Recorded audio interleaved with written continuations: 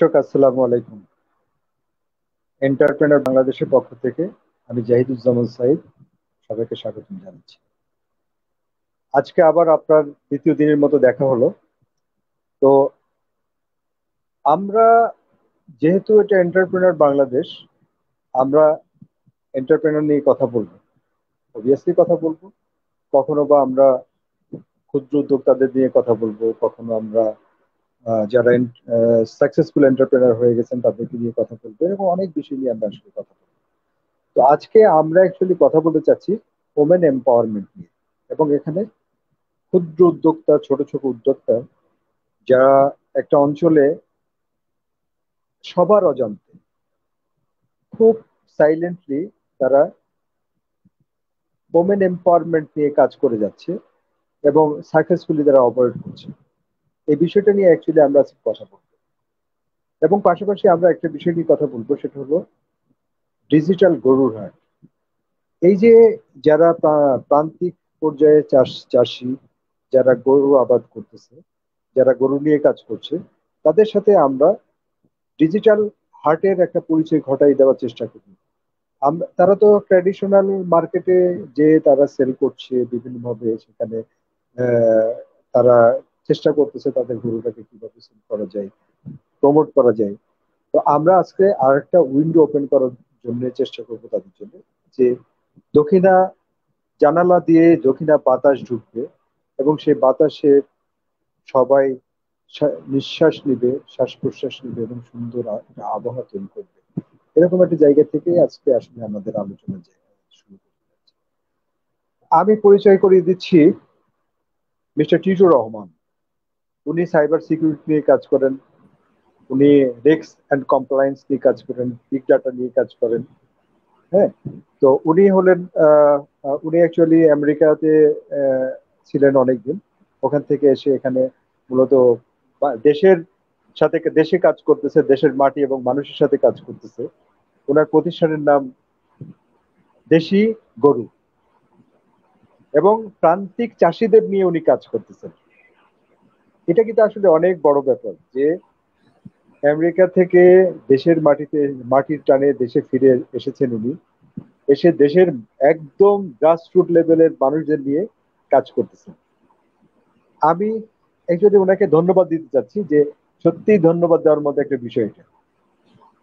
আমি আপনাদেরকে পরিচয় করিয়ে দিব আজকে। মিস্টার আবদুল্লাহিল কাফি। উনি upazila livestock officer. Alamdanga.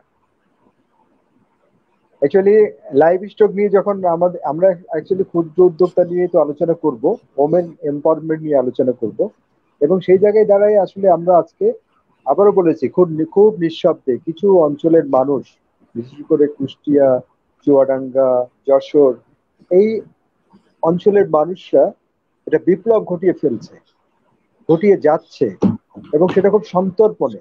এটা হয়তো আমরা এইভাবে কখনো খোঁজও নেওয়ার চেষ্টা করি না। কিন্তু তারা বিপ্লব ঘটাচ্ছে এবং এটাকে এখানে ওমেন এম্পাওয়ারমেন্টের জায়গা তৈরি করছে, নারী উদ্যোক্তা সৃষ্টি করছে। ছোট ছোট ছোট ছোট নারী উদ্যোক্তা সৃষ্টি করছে। তো সেই জায়গাতে অ্যাকচুয়ালি একজন লাইভ স্টক অফিসারের অনেক বড় ভূমিকা। অনেক বড় ভূমিকা এবং সেই বিষয়টা নিয়ে আসলে ওনাদের সাথে আমরা ওনার সাথে আমরা আজকে কথা আমরা অ্যাকচুয়ালি এখানে আমার সাথে আরও আছেন একজন সাংবাদিক। উনি এন্টারপ্রেনার বাংলাদেশের ডেপুটি এডিটর উনি আলমডাঙ্গা উপজেলা সাংবাদিক সমিতির general secretary mister Hamidul Azam. এই মানুষগুলোকে আমি আসলে আমার অন্তর থেকে অন্তরের অন্তরস্থল থেকে আমার আজকের এই এন্টারপ্রেনার বাংলাদেশের প্রোগ্রামে স্বাগত জানাচ্ছি এবং সাধুবাদ জানাচ্ছি। যে ওনারা তাদের মূল্যবান সময় নষ্ট করে আমাদের প্রোগ্রামে অ্যাটেন্ড করেছেন। আমি শুরু করতে চাই আজকে একদম মাটি থেকে, আলমডাঙ্গা থেকে। আলমডাঙ্গার যে একদম প্রত্যন্ত অঞ্চল পর্যন্ত গ্রামের মানুষরা প্রত্যেকটা ঘরে ঘরে, অনেক অনেক ঘরে, প্রত্যেকটা ঘরে ঘরেই বলা যায়, আপনার পশু পালন করছে, গরু পালন করছে, ছাগল পালন করছে এবং এর মাধ্যমে মূলত ওমেন এম্পাওয়ারমেন্টের জায়গা তৈরি হচ্ছে। একটা একটা একটি বাড়ি, একটি খামার যেমন একটি একটি অনেক মহান একটা পরিকল্পনা, সেই জায়গায় দাঁড়ায় এখানে একটা বাড়িতে একজন, একটা পরিবারে একটা মহিলার যে অনেক বড় ভূমিকা আছে এই জায়গাটা কিন্তু আসলে আলমনগর মানুষ দেখিয়ে দিয়েছে। হয়তো ওই বাড়ির পুরুষটা অন্য কোনো কাজে ইনভলভ হয়ে আছেন অন্য কোনো কাজ করছেন এবং হয়তো কেউ কৃষি কাজ করছেন হয়তো কেউ আপনার ছোট একটা ব্যবসা করছেন কিংবা অন্য কোনো যে কোনো কাজ করে থাকুক না কেন ওনার হ্যাঁ, বাড়ির মহিলাটা আমি একটু এটা লাইভে আছি তো পরে কথা বলব না ওনার বাড়ির মহিলাটা কিন্তু একটা গরু পালন করে কিংবা দুটো গরু পালন করে তার পরিবারের অর্থনীতির জায়গাটাকে সমৃদ্ধ করতেছে। তো আমি আজম ভাইয়ের কাছে জানতে চাই যে আসলে কীভাবে এই বিপ্লবটা ঘটতেছে? যদি একটু ব্যাখ্যা করতেন। ধন্যবাদ। শাহিদুজ্জামান শাহেদ, আমাদের যাকে আমরা টুটুল বলে জানি। যে কথাটি আজকে এখানে উঠেছে যে আমাদের এই প্রান্তিক পর্যায়ে আমাদের গ্রামের মানুষরা, যে সমস্ত কৃষক ভাইরা বা যারা আমাদের গ্রামের মেয়েরা, কীভাবে কষ্ট করে তারা প্রতিনিয়ত তারা এই পশু পালন করে যাচ্ছে, তার কিছু চিত্র আমি আজকে আপনাদের সামনে তুলে ধরব। আমাদের এখানে আলমডাঙ্গা উপজেলা একটা বৃহৎ উপজেলা, চুয়াডাঙ্গা জেলার সর্ববৃহৎ উপজেলা আলমডাঙ্গা। প্রায় আড়াই লক্ষর উপরে এখানে দুই লাখ তিরিশ হাজার উপরে ভোটার, প্রায় পাঁচ লক্ষ মানুষ এখানে বসবাস করে। আমাদের এখানে সতেরোটা ইউনিয়ন এবং একটি পৌরসভা দিয়ে আমাদের এখানে গঠিত। তো আমাদের এই বৃহৎ উপজেলায় বিভিন্ন অঞ্চলে, বিভিন্ন ইউনিয়নে যে সমস্ত মানুষ এই পশু পালন করছে, আপনাদেরকে একটা ছোট্ট চিত্র আমি এখানে বলি। এই পবিত্র ঈদুল আজহাকে সামনে রেখে আমাদের আলমডাঙ্গা উপজেলার বিভিন্ন গ্রামে প্রায় চৌত্রিশ হাজার চারশো অষ্টানব্বইটি মানে পশু এরা অলরেডি প্রস্তুত করেছিল এই ঈদুল আজহাকে সামনে রেখে। কিন্তু এই করোনার কালে এসে দেখা গেল অনেকেই এই বিশেষ করে পশুপালন করার পরে হতাশ হতাশায় ভুগছে যে আমাদের এই আসলে দাম পাবো কিনা কি হবে? আজকে আমাদের এখানে একটা বৃহৎ হাট ছিল। হুম এই হাটে মোটামুটি ভাবে কিছু ক্রেতা উপস্থিত হয়েছিল। বাইরের থেকেও কিছু ক্রেতা এসছিলেন। তবে যে ধরনের বেচা কেনা হওয়ার কথা ছিল সে ধরনের বেচা কেনা কিন্তু হয়নি। অনেকেই বিফল মনোরথে ফিরে গেছে। আবার আমরা দেখলাম অনেকে আবার কিছু কিছু দাম পেয়েছে। আবার কেউ কেউ হয়তো দাম না পেয়ে বিক্রি না করে ফিরে গেছেন। আমাদের এখানে বিশেষ করে যে কথাটা বললাম আমাদের সাহেদ সাহেব বললেন যে একটি বাড়ি, একটি খামার বা এখানে আশা অথবা গ্রামীণ ব্যাংক বা ব্রাক ব্যাংক বিভিন্ন জায়গা থেকে আমাদের মেয়েরা কিন্তু ঋণ নিয়ে থাকে। এবং ঋণ নিয়ে দেখা যাচ্ছে প্রত্যেকের বাড়িতে একটা দুটো করে গরু আমাদের এই আলমডাঙ্গার হাট থেকে গরু ক্রয় করে তারা মোটা তাজাকরণ করার জন্য বাড়িতে প্রায় পাঁচ ছয় মাস ধরে এটাকে এই ঈদকে সামনে রেখে তারা পোষে। পোষার পরে একটা মোটা মোটামুটি ভাবে তারা ধারণা করে যে একটা বছরে, এই বছরে যদি আমরা এই দুইটা গরু আমরা ঠিক মতো বিক্রি করতে পারি, তা কেউ, কোনো মহিলা এক লাখ, কোনো মহিলা দেড় লাখ টাকা পর্যন্ত লাভ হয়। এবং তারা টাকা পয়সা শোধ দিয়ে মোটামুটি ভাবে তারা একটা মোটামুটি পুঁজি অর্জন করতে পারে। কিন্তু এইবার করোনায় কারণে তারা কিন্তু সেই জায়গাতে ঠিক মতো যেতে পারছে না। যে কারণে অনেক মহিলাকে আমি দেখেছি তারা মানে কান্নায় ভেঙে পড়ছে। তারা ঠিক মতো ঋণের টাকা শোধ দিতে পারবে কিনা খুব শঙ্কার ভিতরে আছে। তো যাই হোক, তারপরেও আমরা এখানে আলমডাঙ্গাতে আমাদের যে দুইটা হাট হয় প্রতি সপ্তাহে এই হাটে কিন্তু ছাগল ওঠে। আমাদের এই হাট এবার আমাদের এই উপজেলাতে প্রায় একুশ হাজার পাঁচশো পঁয়ত্রিশটি ছাগল আমাদের এখানকার কৃষক মানে যারা পশু পালন করে থাকে, আমাদের যারা খামারি বা বিভিন্ন বাড়িতে পশু পালন করে এতগুলি ছাগল তারা পালন করেছে। পাশাপাশি প্রায় দুইশো চারটি ভেড়া তারা নিজেরা পালন করেছে। এই সামনে ঈদুল আজহাকে সামনে রেখে। তো তারা যদি ঠিক মতো ভাবে বিক্রয় করতে না পারে তাহলে এই আমাদের বিশেষ করে প্রান্তিক আমাদের মা বোনরা যারা এই টাকা ঋণ নিয়ে এই পশু পালন করেছে বা গবাদি পশু পালন করেছে সার তৈরি করেছে এই বিশেষ করে আমাদের এখানে লাইভ স্টক অফিসার আছেন পানি সম্পদ কর্মকর্তা উনি সবই জানেন কারণ ওনার কাছে প্রতিনিয়ত আমাদের এই সমস্ত মেয়েরা আসে আমাদের বিভিন্ন গ্রামের কৃষকরা আসে যারা এই খামারি আছে, ছোট ছোট খামারি। বড় বড় খামারিও আছে, ছোট ছোট খামারিও আছে। আমাদের কোন কোন খামারিতে ষাট, পঁয়ষট্টিটা গরু আছে। হুম, তাদের এই ঈদকে সামনে রেখে তারা যে টার্গেটটা নিয়েছিল, তারা কয়েক কোটি টাকার গরু এক একজনের খামারিতে আছে।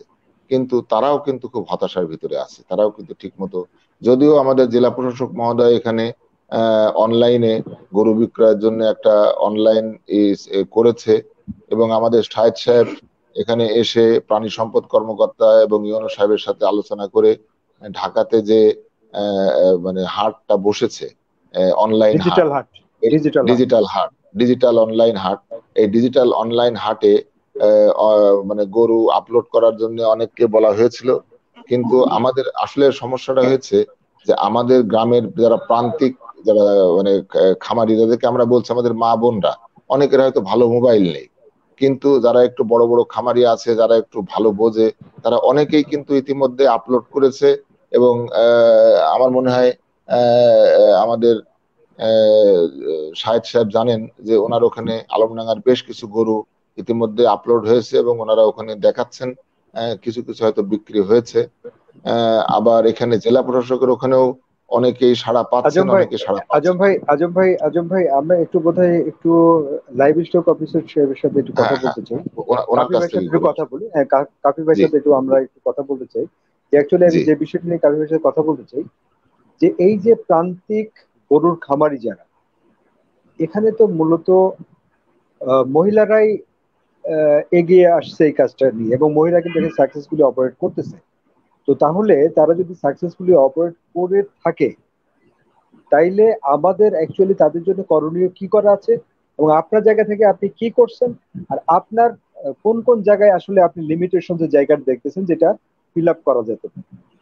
মানে ফুলফিল করলে আপনি আগামীতে আরও চমৎকার একটা আলমডাঙ্গা সৃষ্টি করতে পারবেন আপনি মনে করছেন। প্লিজ, আপনি যদি আমাদের আমি প্রথমে ধন্যবাদ জানাতে চাই জাহিদুজ্জামান সৈয়দ ভাইকে। আমি আসলে প্রথম যেদিন আপনার সঙ্গে পরিচয় সেদিন থেকেই আমি বুঝতে পেরেছি আপনি একজন যেহেতু আলমডাঙ্গার সন্তান আপনি ছোটবেলা থেকে এখানকার মানুষ কতটুকু প্রাণী সম্পদে সম্পৃক্ত আপনি সবকিছু দেখেছেন যেটা বাস্তব অভিজ্ঞতা অর্জন করেছেন। এই ক্ষেত্রে আমি মনে করি আপনি প্রাণী সম্পদের প্রতি অত্যন্ত টান রয়েছেন। সেই সূত্র ধরেই আলমডাঙ্গার মানুষ যাদের হ্যালো শুনতে পাচ্ছেন তো? হ্যালো জি জি জি হ্যাঁ। শুনতে পাচ্ছি। আমি শুনতে হ্যাঁ, পাচ্ছি বলেন। এই সূত্র ধরে যাতে আমাদের যেটা করোনাকালীন আপদকালীন সময়ে আলমডাঙ্গার মানুষ সহজে তাদের স্বপ্নের লালিত পশুটাকে কোরবানির পশুটাকে বিক্রি করতে পারে। সেই সূত্র ধরে আপনি আলমডাঙ্গা এসেছেন এবং খামারদের সঙ্গে আলোচনা করে যেটা অনলাইন আপনার যেটা আপনার যেটা একটা পশু হাট আছে যে নাম ডিজিটাল হাট সেখানে গরু বিক্রয়ের আপনি আপ্রাণ চেষ্টা করে যাচ্ছেন। এই কারণে আলমডাঙ্গাবাসীর পক্ষ থেকে এবং আলমডাঙ্গা প্রাণী সম্পদ অফিস উপজেলা প্রাণী সম্পদ অফিস আলমডাঙ্গার পক্ষ থেকে আপনাকে আন্তরিক ধন্যবাদ জ্ঞাপন করছি। যাই হোক আপনি যে প্রশ্নটা করছেন। হ্যালো জি জি হ্যাঁ জি আপনি যে প্রশ্ন করছেন যে আমাদের খামারের অত্যন্ত কষ্ট করে তারা খেয়ে না খেয়ে একটা স্বপ্নকে লালিত করে স্বপ্নকে বাস্তবায়ন করার জন্য তারা একটা কুরবানিতে বিক্রি করার জন্য একটা গবাদি পশু সেটা হইতে পারে ষাট হইতে পারে ছাগল বা যে কোনো তারা লালিত পালন করে। কিন্তু বর্তমানে করোনাকালীন সময়ে এখন তো যে হারে সেল হওয়ার কথা, যে হারে মূল্য পাওয়ার কথা, সেটা কিন্তু কৃষকরা পাচ্ছে না। এই কারণে অনেকে ভেঙে পড়েছেন। তারা এখন আশাহত হয়েছেন, মর্মাহত হয়েছেন। সেই প্রেক্ষিতে আমাদের বর্তমান জেলা প্রশাসনের পক্ষ থেকে, আপনার পক্ষ থেকে, আমাদের জেলা প্রাণী সম্পদ অফিসের পক্ষ থেকে অনলাইন যেটা পশু হাট কোরবানির এটা চালু করা হয়েছে, আমরা প্রতিনিয়ত জেলা প্রশাসনের যেটা অনলাইন পশু হাট চুয়াডাঙ্গা, আমরা গরুগুলো আপলোড দিচ্ছি যাতে বিক্রি হয়।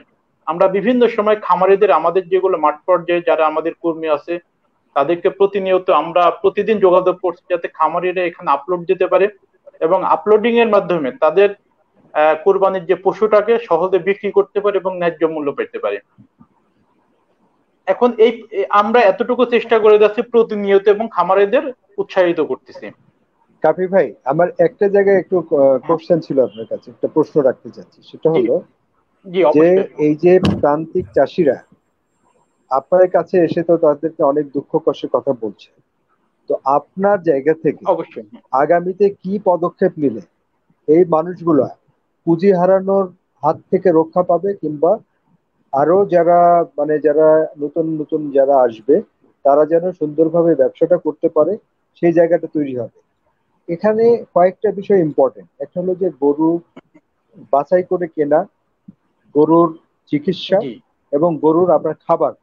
খাবারটা কিন্তু একটা ইম্পর্টেন্ট যদি সেখানে যদি আপনি সঠিকভাবে তারা যদি খাবার খাওয়াতে পারে হ্যাঁ তাহলে কি হবে? তাহলে এই পশুগুলা মানে কম খরচে ভালো হৃষ্টপুষ্ট হবে। তো এখানে একটা জিনিস হলো যে ইম্পর্টেন্ট যে ধরেন যে ট্র্যাডিশনাল ওয়েতে যেভাবে তারা খাবারগুলো খাওয়াচ্ছে। এখানে এখানে কি আপনার কিছু জমিতে যদি আপনারা ঘাসের চাষ করে তাদের কৃষকদেরকে এটা যদি উদ্বুদ্ধ করেন ঘাসের চাষ করতে তাহলে কি তাদের এই গরু প্রতি খরচটা একটু কমে যায় না? কি মনে হয় আপনার কাছে? অবশ্যই অবশ্যই কমবে অবশ্যই। আমি এ বিষয়ে একটু বলতে চাই আমাদের খামারিরা সাধারণত বলেন। জি বলেন আপনি বলেন। আমাদের খামারিরা আমরা প্রতিনিয়ত চেষ্টা করে যাচ্ছি তাদের সচেতনতা বৃদ্ধির জন্য। আমাদের অফিসের যেগুলো উপসহকারী প্রাণী সম্পদ কর্মকর্তা আছে বিভিন্ন মাঠকর্মী আছে তারা প্রতিনিয়ত বিভিন্ন গ্রামে গিয়ে আমাদের উত্থান বৈঠক আছে।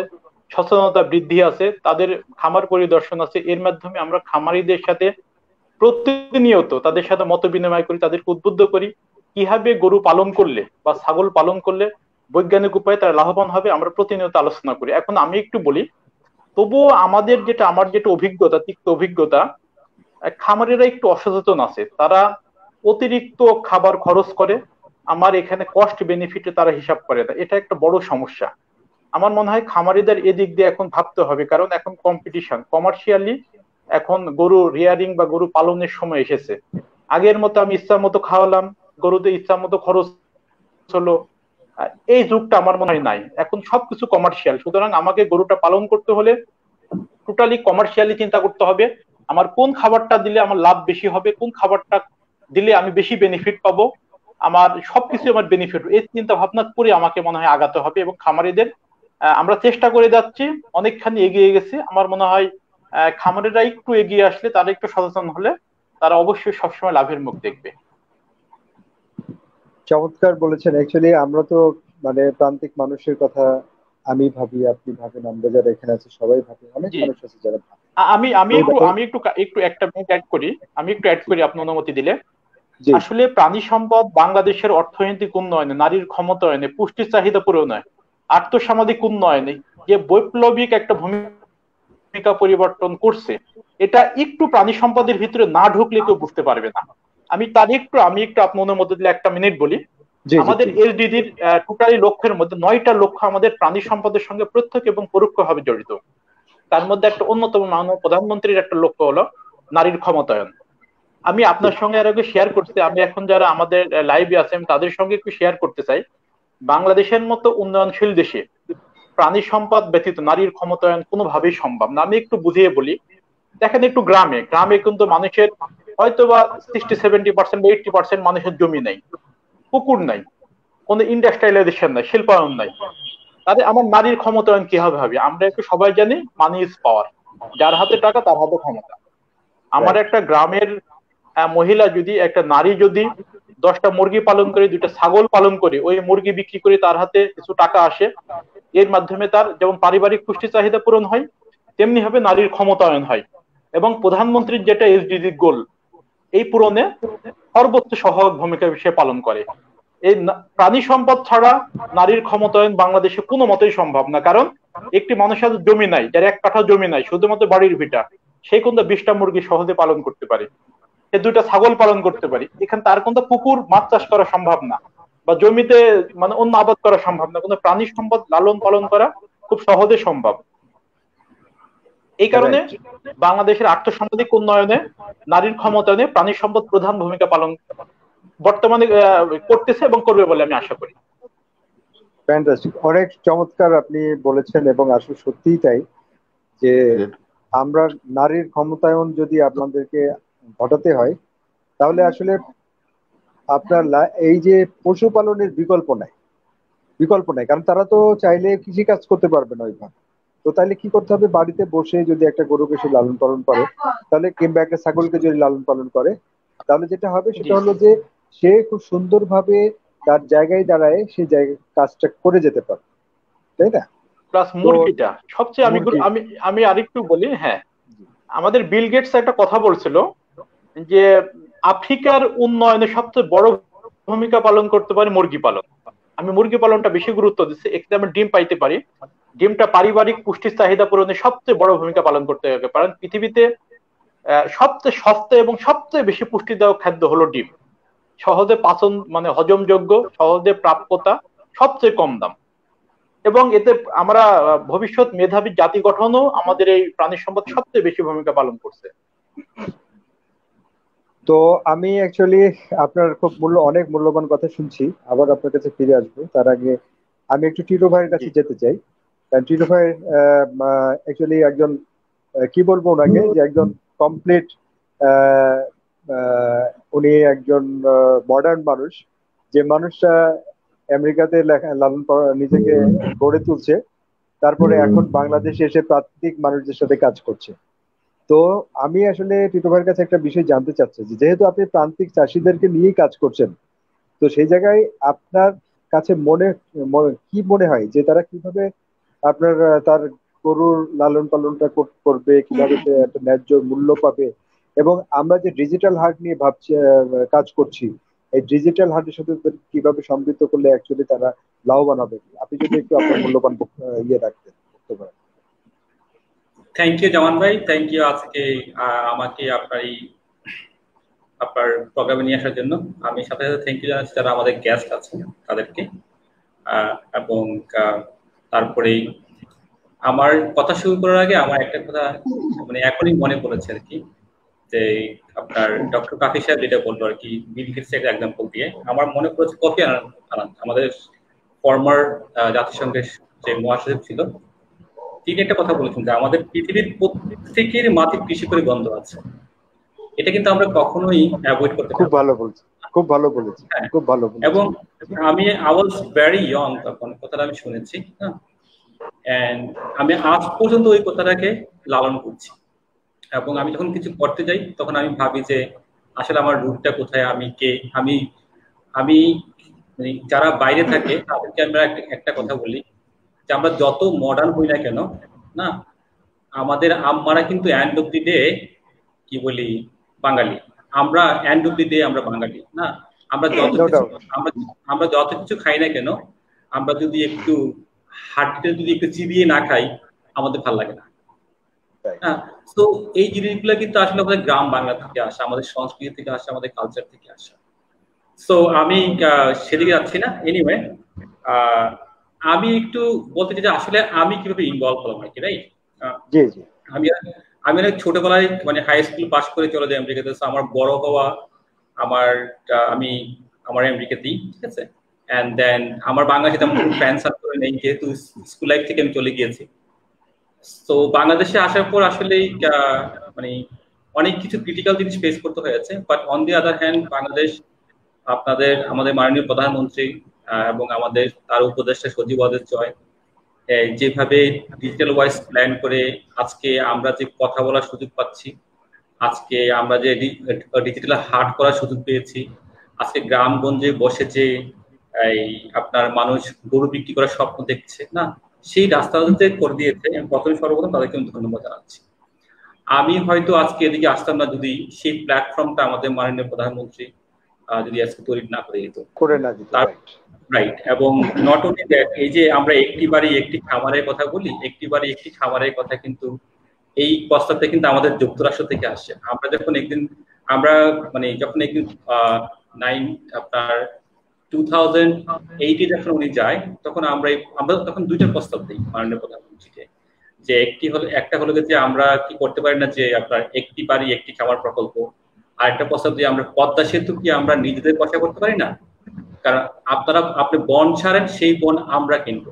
আমাদেরকে কারও কাছে হাত করতে হবে না হ্যাঁ সো সো মাননীয়, আমরা মানে তো মাননীয় প্রধানমন্ত্রী ক্ষমতা আসার পর পরে সেই স্বপ্নগুলো দেখে এবং আমি ধন্যবাদ জানাই যে সেই স্বপ্নগুলো অলরেডি উনি, এখন কিন্তু এখন কিন্তু এগুলো বাস্তবে দেখা যাচ্ছে।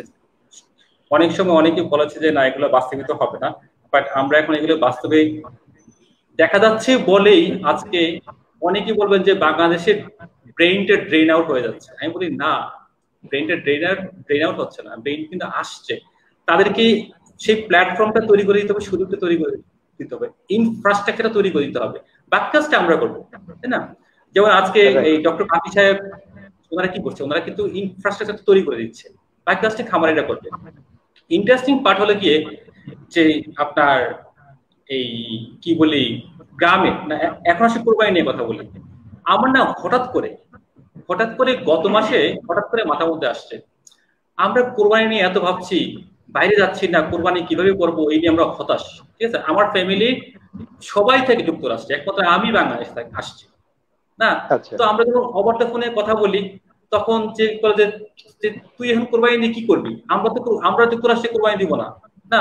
তুই কি দিবি দিবি না? তখন আমার মাথা স্ট্রাইক করে না আমি টিটু রহমান যদি এটা চিন্তা করি, তাহলে গ্রামের কৃষকদের কি হবে? তারপর যারা আমি কি করেছি? আমি তিনজনের একটা টিম পাঠিয়েছি।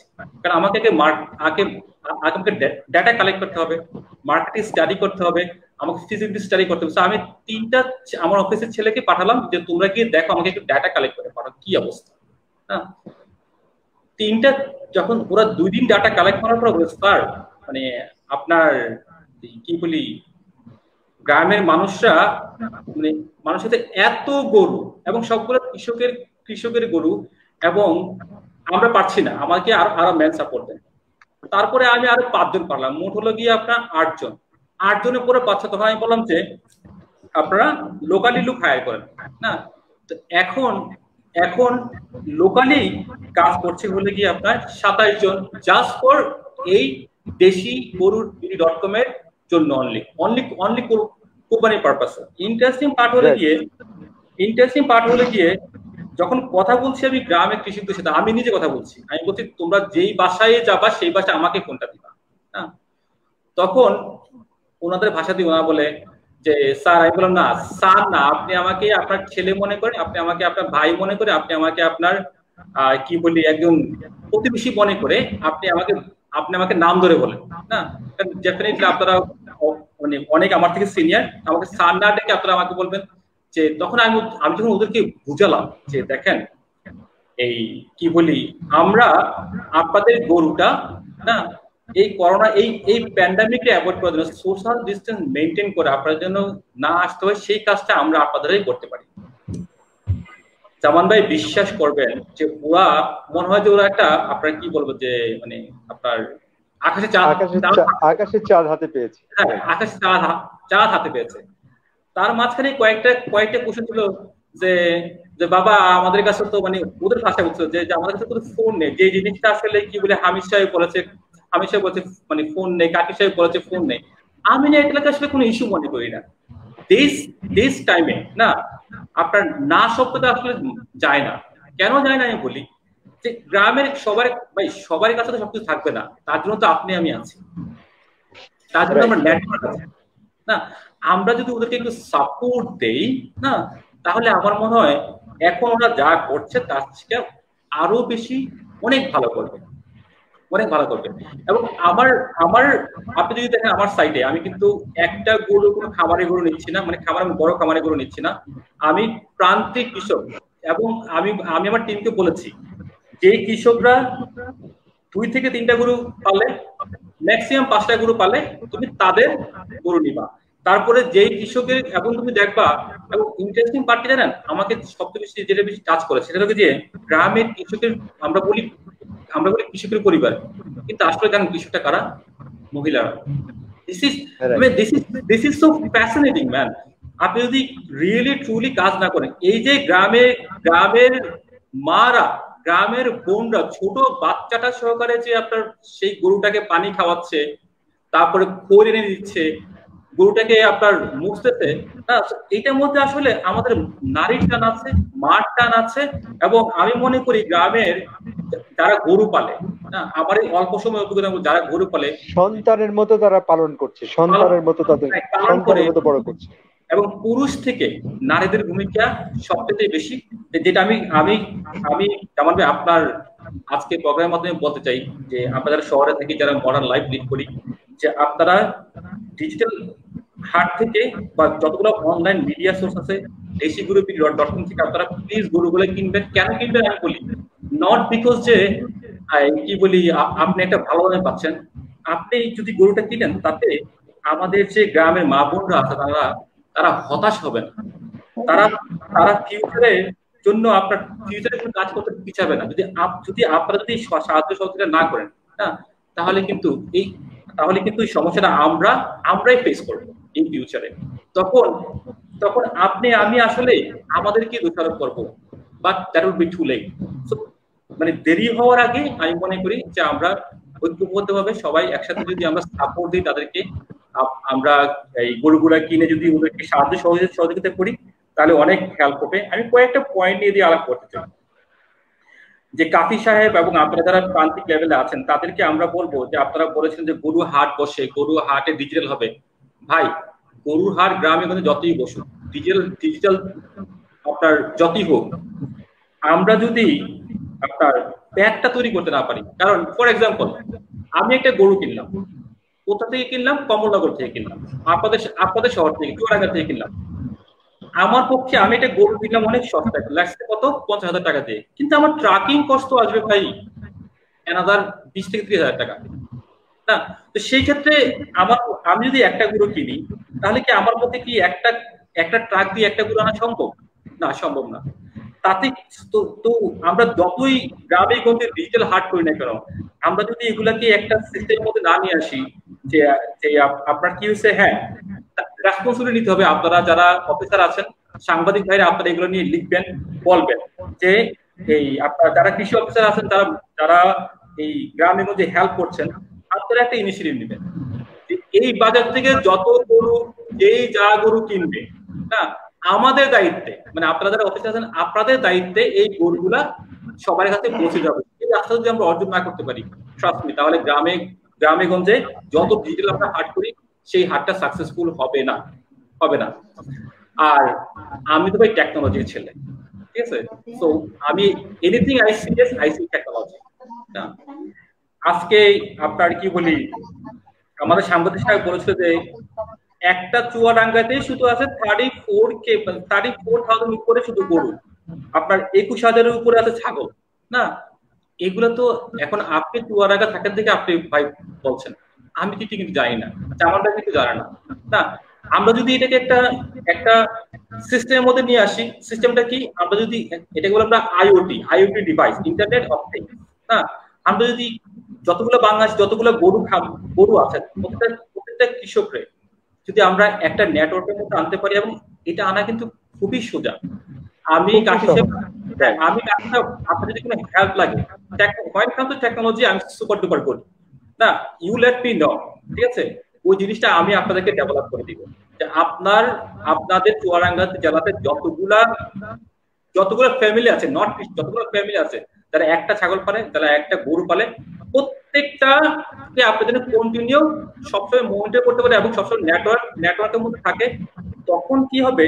যারা আমরা সিজনে ওয়াইজ প্ল্যান করি হ্যাঁ আমাদের যদি, আমাদের কাছে যদি ডেটা না থাকে না? ডাটা কিন্তু main source data data is the the most powerful things in this ওয়ার্ল্ডে আপনার, এটা এটা মানে টাকা পয়সার থেকেও বেশি পাওয়ারফুল হ্যাঁ আপনি এই ডাটা থাকলে আপনি এই ডাটা থাকলে এই ডাটাটা কিন্তু আপনার আমরা কাজ লাগাতে পারব। এটাকে আমরা অ্যানালাইজ করে আমরা ফিউচার প্ল্যান করতে পারি ইনফরমেশন ইজ পাওয়ার পাওয়ারফুল হ্যাঁ সো এখন মনে করেন আমি যদি আপনাকে জিজ্ঞেস করি আমি জানি না don't take me wrong way আমি যদি কাকি সাহেব আপনাকে জিজ্ঞেস করি সত্য করে বলেন তো আসলে গ্রামে কতটা কৃষক গরু পালে?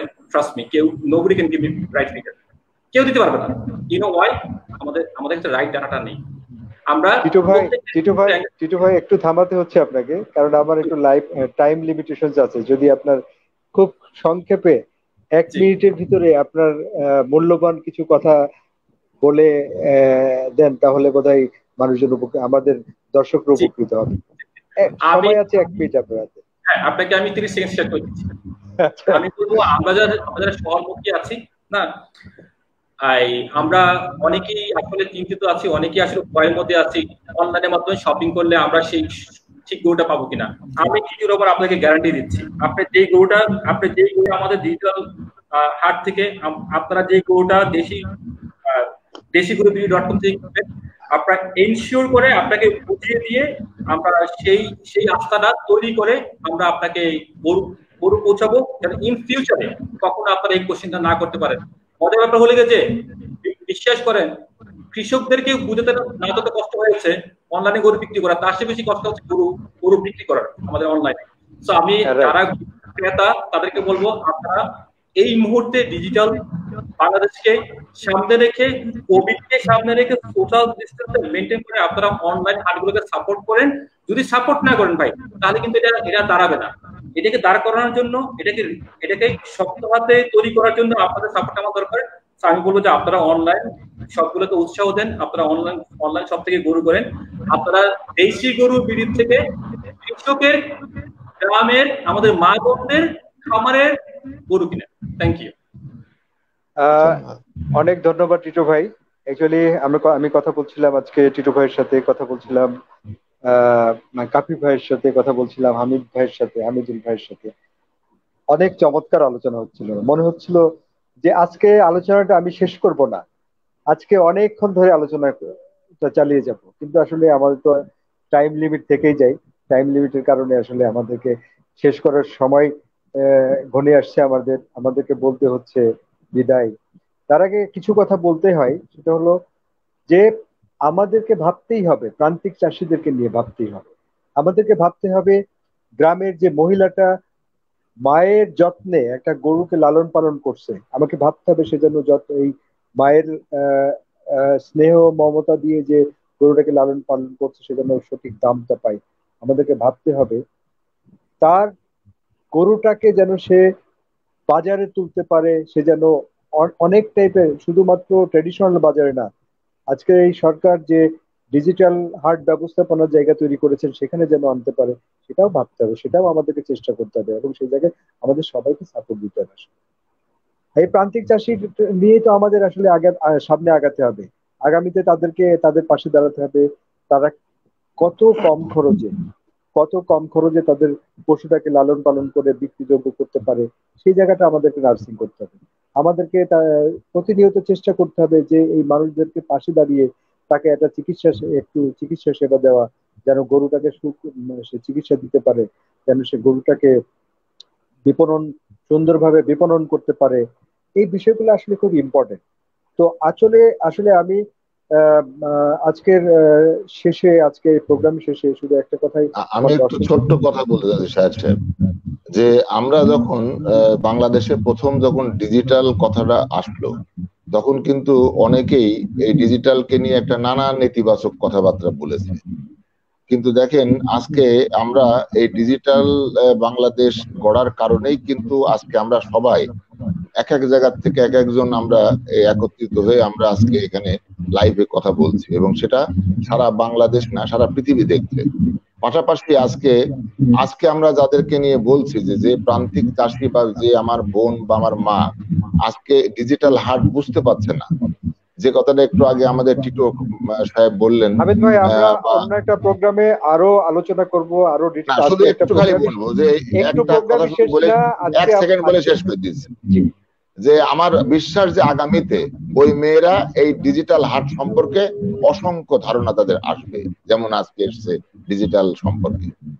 ধন্যবাদ দর্শক ধন্যবাদ আমার সাথে উপস্থিত যারা আজকে কথা বললেন আপনাদের উদ্দেশ্যে সবাইকে ধন্যবাদ জানিয়ে আজকে আমার প্রোগ্রাম শেষ করছি। থ্যাংক ইউ থ্যাংক ইউ ধন্যবাদ। Thank you